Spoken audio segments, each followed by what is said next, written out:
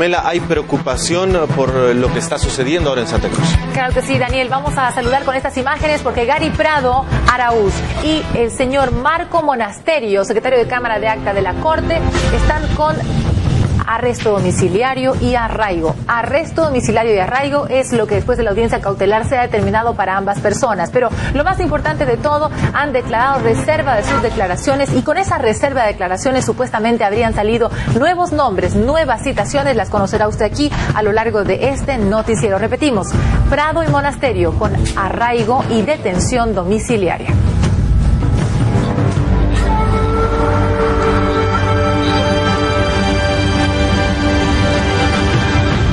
Ahora vamos a revisar el preciso momento cuando Gary Prado Araúz estaba saliendo de la audiencia cautelar. Comunicación. La respetamos, la respetamos. Por favor, estamos con manilla, por favor, un ratito. Está con manilla. Por favor, esté manilla. ¿Cómo necesito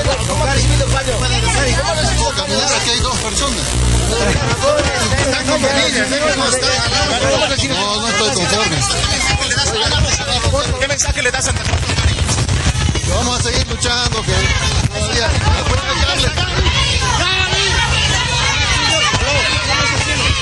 con esta decisión de la juez. Gary,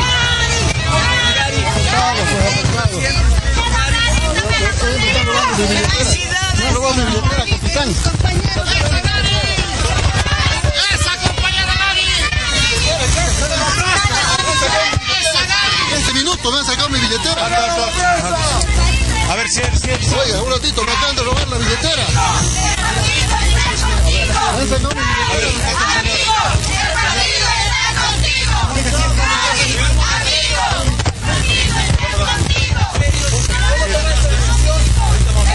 Pues ahorita se van a ir. Ya, ya. Entra, entra, ahorita más. Entra, entra, vamos a revisar ahorita. Suelta la manilla. No me pueden robar mi billetera.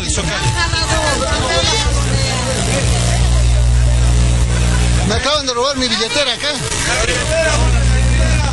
Hola. ¿Qué le sacaron, don Gary? Mis documentos, mi plata.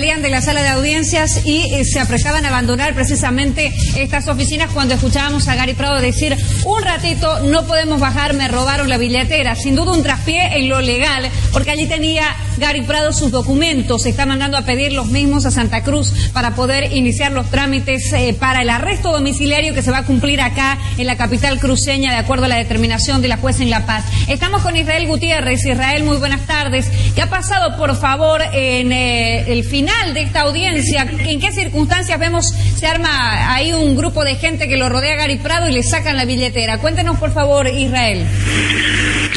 ¿Qué tal, amigos de Notivisión? Efectivamente, nos encontrábamos justamente saliendo de la audiencia de la juez cuarto de instrucción de lo penal, donde se terminaba la detención domiciliaria de ambas personas.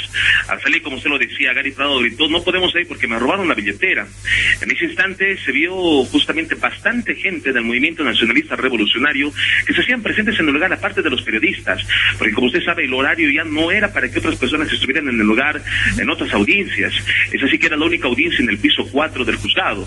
Cuando justamente la policía hizo ya la requisa, tanto personas como eh, periodistas, camarógrafos que estuvieran detrás de Gary Prado. En ese instante no pudieron encontrar nada y hasta el momento, bueno, no encontraron la billetera. Lo que él decía era mis documentos y mi dinero. Eh, no se encontró absolutamente nada, Cecilia. Bueno, él eh, pudo comentar cuánto tenía de dinero o qué es lo que sigue de aquí para adelante, digo, tomando en cuenta que mientras no tenga Israel los documentos, el señor Prado en la ciudad de La Paz no podrá tramitar su traslado a Santa Cruz. efectivamente, efectivamente, no va a poder tramitar su, traslado a Santa Cruz ya que eh, no encontraron nada. La policía dijo, lo, lo único, el interés de la policía era trasladarlo a la carceleta del juzgado porque había bastante gente en el lugar.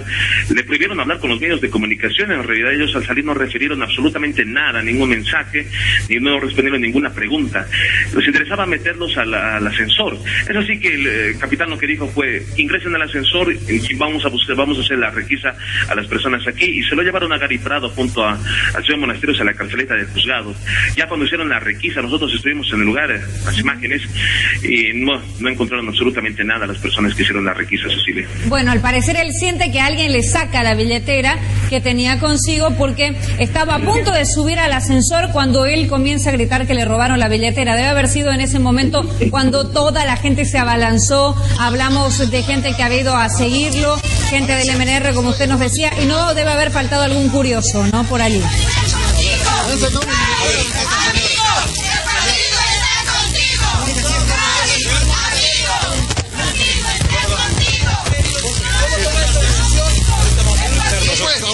Se van a ir. Ya, ya. Entra, entra, ahorita más.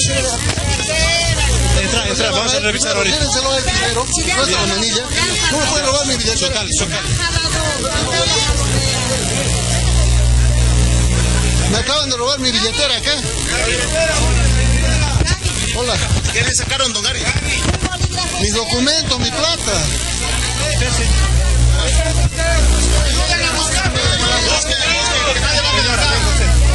Entonces,